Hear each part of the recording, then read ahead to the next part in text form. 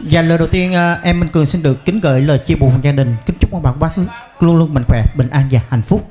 Liên tục trên văn nghệ xin được gửi đến một bài hát một sáng tác rất nổi tiếng của soạn dạ giả Diễn Châu. Bài hát được mang tên Hàng dọ biệt ngưu cơ. Xin quý vị cùng lắng nghe.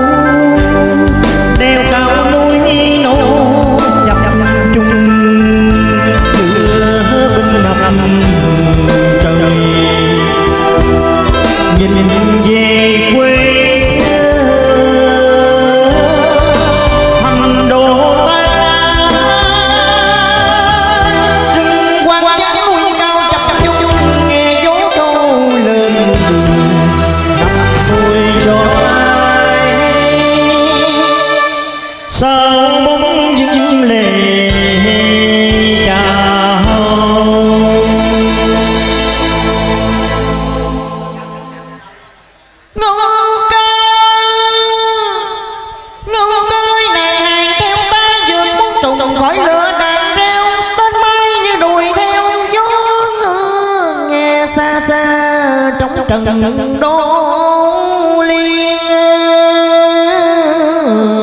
hồi Tiếng quân đeo dày đất đất gian trời cho cho cho đất ngựa vừa muốn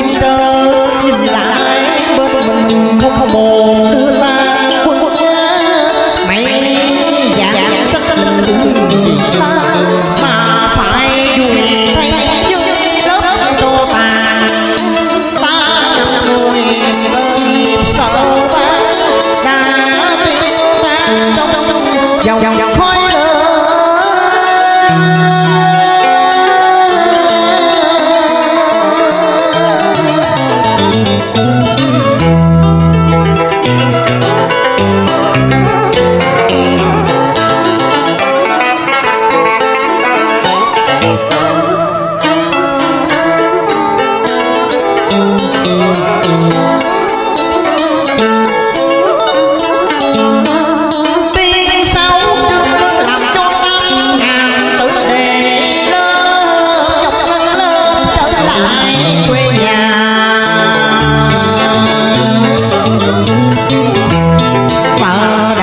Gì công công gì những cơ đồ.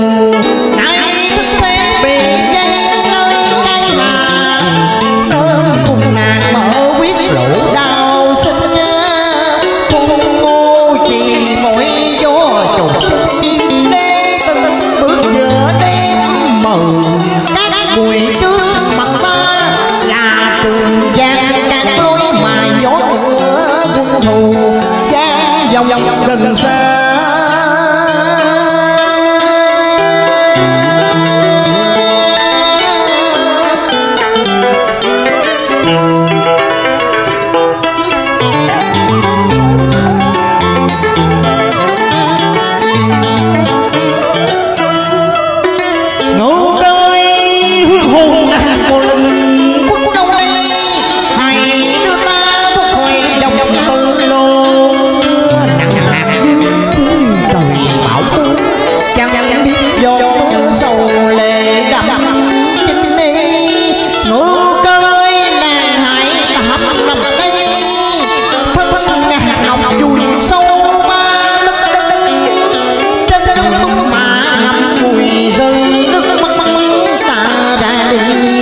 Trong tiếng gió mưa rừng.